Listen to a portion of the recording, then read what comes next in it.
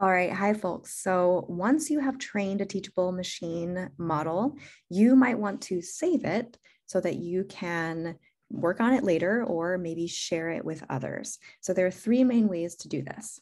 The first is to save it to Google Drive. So go to your menu and choose Save Project to Drive. And then go ahead and log in and it'll take you through the prompts. And when it prompts you, make sure that you allow Teachable Machine access to your Google Drive.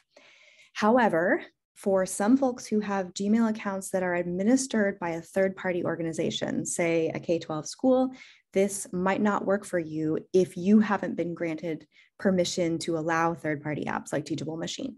So, in that case, if you think that is not going to work for you, you might want to try option number two, which is to download the project file.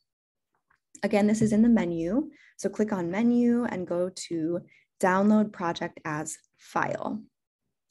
This is going to download to your computer as a .tm for teachable machine project file.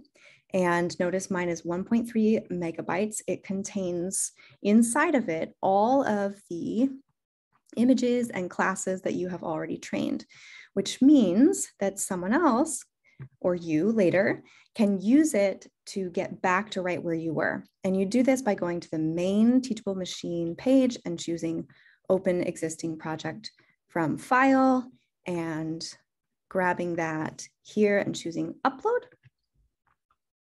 And then voila, we have all of my image samples and classes back. We can now have a fully editable model. I can delete images, I can add images here.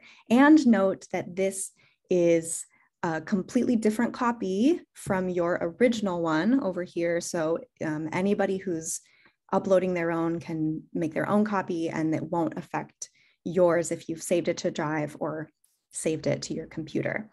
Also, if you do make changes here or someone else does, and they want to save them, make sure that they do go back and download this, the new version as a file.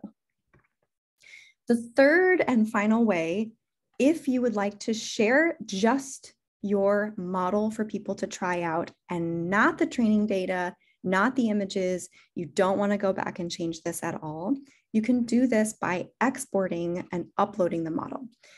So on the right-hand side, click this button, Export Model.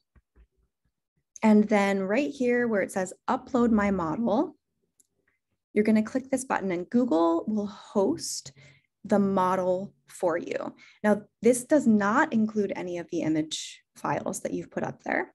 It only is the model that Teachable Machine trained. It gives you a URL right here, and you can click copy. And then you can share this URL with people. And when they put it into their browsers, they get a preview of this model. So I'll choose this. Oh, here's my webcam. There's me. It thinks that I am a lemon. That is really sad. You can choose file here and then people can test their your model here just at this web page. Now, please note, they cannot go backwards from this point. They can't go back and get that training data, those training images again to edit the model. Those are all gone and same goes for you. If you didn't save your model in one of the first two methods, then you also have lost that uh, those initial samples. That's it. Thanks. Uh, have fun. Let me know if you have any problems or questions.